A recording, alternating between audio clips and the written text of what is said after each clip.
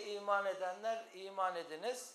Ey derviş olduğunu iddia edenler derviş olunuz. Biz de böyle bir e, ikazla efendim derviş olunuz. Yani derviş olmak efendim e, bir bir dergaha ait olmak ve o dergahın efendim ortak işlerinde ortak efendim katkıda bulunmak ve yapılacak işleri hep beraber sırtlamak ve omuzlamak.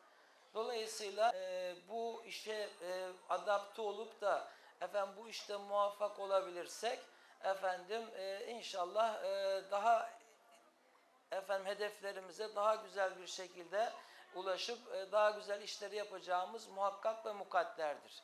Peki efendi bu nasıl olacak? Bir kere bir kere iki örnekle yani ne olması gerektiğini, nasıl olması gerektiğini efendim ben e, açmak istiyorum. Birincisi burayı bir efendim e, iş yeri olarak görebilirsiniz ve bu görmüş olduğunuz iş yerinin patronu da sizsiniz. Yani öyle bileceksiniz. Ve eğer bu işletme efendim diyelim ki e, son sermayenizi koydunuz. Efendim bu işletmeyi açtınız ve efendim burada iş yapıyorsunuz. Burada personel çalışıyor. Buranın giderleri var, faturaları var. Burada efendim çalışan efendim makineler vesaireler var. Şöyle biraz dursanız, biraz gevşetseniz sanki iş tıkanacak, yüklenecek. Ondan sonra sermaye bitecek ve iflas edeceksiniz bir duygu ile ve bu işletmenin sahibi de sizsiniz duygusu ile burayı ayakta tutmak, efendim bu işletmeyi çalıştırmak ve bununla beraber efendim bu üretime katkıda bulunmak için yani çalışan olarak değil, idare eden, gelip giden olarak değil de sanki bir patron olarak burada bulunduğunuzu bilmek. Yani bilmem hani iş iş sahibi olanlara, akıl sahibi olanlara böyle bir örnekle meseleyi e, açmak istedim. Yani bıraktığınız zaman ne olacak? Gevşettiğiniz zaman ne olacak? Yük üzerinize kaldığı zaman ne olacak? Bunu düşünmek. İkinci başka bir örnek de e, şimdi mesela diyelim ki efendim e, bu örneği daha önceden kullanmıştım bazı sohbetlerde hanım cemaatlerin içine de efendim e, kullanmıştık. Dedik ki e, İbrahim Pek Efendim Hazretleri bizim babamızdı. Efendim babamız efendim ahirete irtihal etti. Biz de onun evlatlarıyız. Efendim e, ve içimizden birisini efendim bir evladını vazifelendirdi. Oğlum bu efendim evin bundan sonraki umuru, bundan sonraki işi ve hizmeti efendim senin üzerinedir dedi ve efendim ahirete irtihal etti.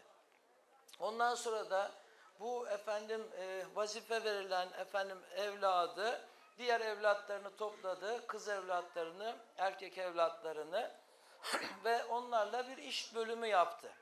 İşte siz şöyle yapın, biz böyle yapalım, siz böyle yapın, siz şöyle yapın.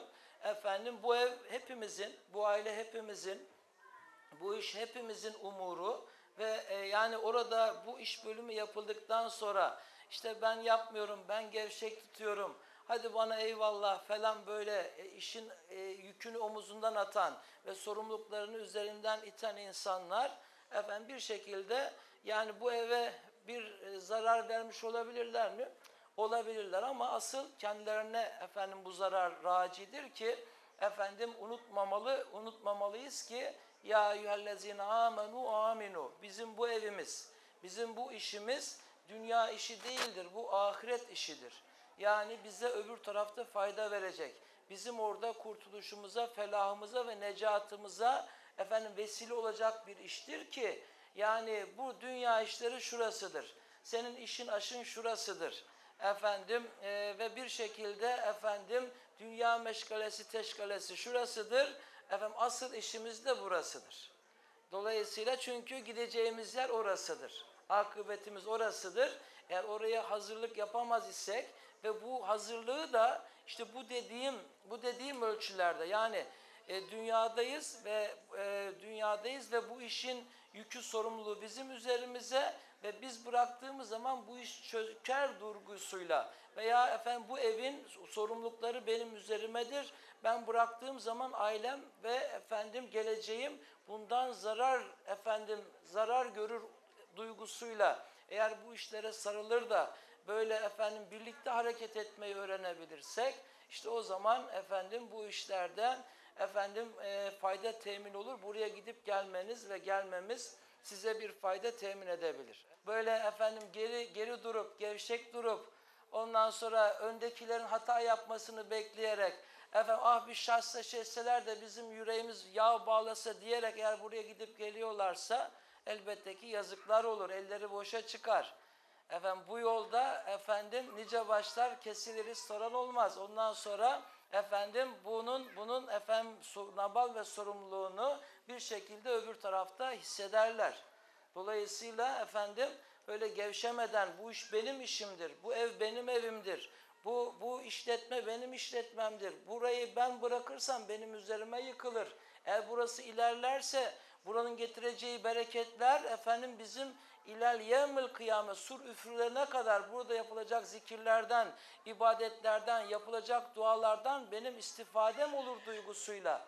Efendim buraları ayakta tutmak, yeni yeni dergahlar açmak, yeni yeni ilim, zikir müesseseleri, medreseleri açmak, işte Hacı Bayram Külliyesi'ni tamamlamak ve bunun gibi nice yerleri 81 vilayet, 3500 ilçede, efendim bilmem 250 tane ülkede, her yerde böyle efendim Sufi İslam, Anadolu İslam'ını, tasavvufi İslam'ı yeşertmek, İslam'ın özünü, efendim yakınlık, kurbiyetini, aşkını, vecdini ve muhabbetini bütün gönüllere zerk etmek için bu dava benim davamdır, bu iş benim işimdir diyerek bu işe yapıştığımız anda ve bu işi kendi işimiz bilerek hep birlikte efendim eşimiz şurası, işimiz şurası, bedenimiz, sıhhatimiz şurası diyerek böyle efendim bu işe yapışırsak hep birlikte bu işi efendim e, iş bilir de asıl iş bilir ve ahiret işi olarak bilir de bu işe sahip çıkar isek işte o zaman efendim hem dünya hem ahirette efendim bunun